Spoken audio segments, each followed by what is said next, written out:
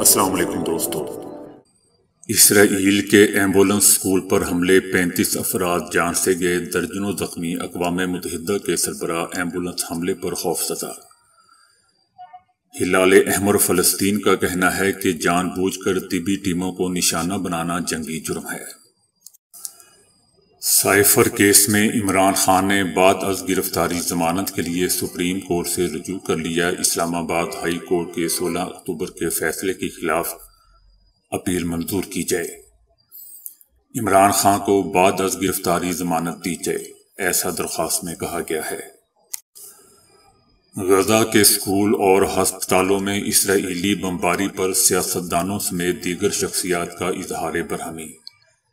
गुजशत रात इसराइल की काबिज फौज ने गजा पट्टी में अलकुदस हॉस्पिटल के इर्द गिर्द बमबारी के चंद मिनट बाद ही अलशफा हॉस्पिटल के गेट पर भी बमबारी की थी। Mianwali Pakistan air force training air base पर हमला नाकाम बना दिया गया है। तीन दहशतगर्द हलाक हो गए हैं। आईएसपीआर का कहना है कि गैर मामूली ज़रूरत और बर वक्त जवाबी कार्रवाई का मुजाहरा करते हुए बेस में दाखिल होने की कोशिश करने वाले तीन दहशत गर्दों को हलाक कर दिया, जबकि तीन के गिर्द घेरा तंग कर दिया गया।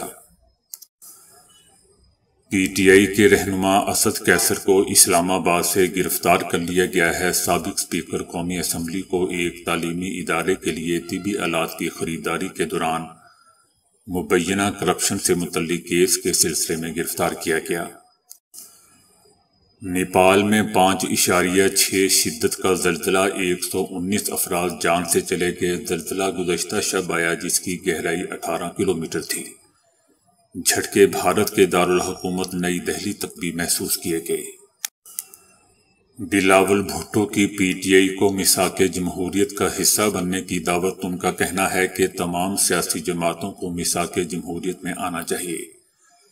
ये बहुत अच्छा होगा अगर पीटीआई भी मिसाक जमहूरियत को तस्लीम कर ले और इसमें शामिल हो जाए।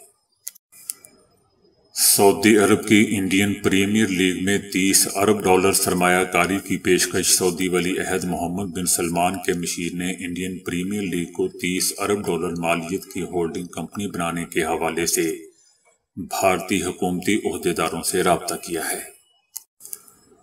खैबर पख्तूनख्वा में तीन मुख्तलिफ़ वाकयात में पाक फौज के तीन अहलकार शहीद हो गए। आई एस पी आर का कहना है कि सिक्योरिटी फोर्स ने कार्रवाई के दौरान दो तकरीबकारों को हलाक कर दिया और उनके कई ठिकाने तबाह कर दिए।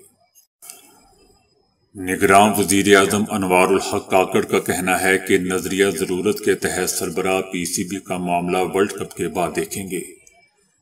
उनका कहना था कि निगरान हुकूमत नहीं होनी चाहिए, बल्कि आपकी जमहूरियत और सियासत इतनी मेचोर होनी चाहिए कि मौजूदा हुकूमत इलेक्शन करवाकर पुरअमन अंदाज में उन तक इकतदार मुंतकिल कर दे।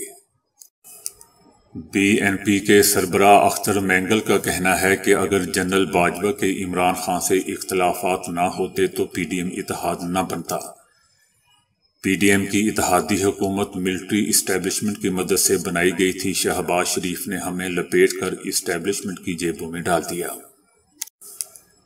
इसहाक डार का कहना है कि मरदमशुमारी के नतज की मंजूरी के बाद नब्बे रोज में इंतबात की सोच गैर आइनी है। हम भी चाहते थे कि इंतबात नब्बे रोज में हों। इंतबात के लिए पहले बजट में पाँच अरब थे, लेकिन इलेक्शन कमीशन को चौवन अरब दरकार थे। गवादर सिक्योरिटी फोर्सेस की गाड़ी पर तकरीबकारों का हमला, पाक फौज के चौदह अहलकार शहीद। आईएसपीआर का कहना है कि जिला गवादर में पिसनी से और माड़ा जाने वाली सिक्योरिटी फोर्सेस की गाड़ी को तकरीबकारों ने निशाना बनाया। इलाके में कार्रवाई जारी है। वर्ल्ड कप में अफ़गानिस्तान भी सेमीफाइनल की दौड़ में शामिल। नैदरलैंड को सात विकेटों से शिकस्त। नैदरलैंड की टीम ने चार मिडल ऑर्डर बल्लेबाजों के रन आउट की वजह से सिर्फ़ एक सौ उनासी रन बना सकी, जबकि अफ़गानिस्तान ने सिर्फ़ तीन विकेटों के नुकसान पर हदफ हासिल कर लिया था। दस्तावेजात के बगैर मुकीम अफगान शहरियों की वापसी में तेज़ी के लिए मजीद मराकज कायम कर दिए गए हैं। निगरान हुकूमत ने अकवा मुतहदा इंसानी हकूक की तनजीमों और मगरबी सफारत खानों की जानब से चार लाख में से एक लाख अफगान पनाह गजीनों की मुल्क बदरी के मनसूबे पर नजरसानी की दरख्वास्त को मुस्तरद कर दिया। बिलावल भुट्टो जरदारी का कहना है कि सबको इलेक्शन का चाँद मुबारक हो, बेहतर होता कि अदालती मुदाखलत के बगैर इलेक्शन की तारीख का ऐलान होता। करप्शन का बादशाह आसिफ अली जरदारी एक और करप्शन केस में तलब एहतसाब अदालत इस्लामाबाद ने सबक सदर समेत दीगर मुलजमान को 20 दिसंबर को अदालत में पेश पेश होने का हुक्म दे दिया। दहली में फिजाई आलूदगी में खतरनाक हद तक इजाफा मुतद स्कूल बंद। दहली में पीर को श्रीलंका और बांग्लादेश के दरमियान वर्ल्ड कप का एक अहम मैच भी शेड्यूल है। तो दोस्तों, अभी के लिए इतना ही। वीडियो को लाइक और शेयर करने का बहुत बहुत शुक्रिया।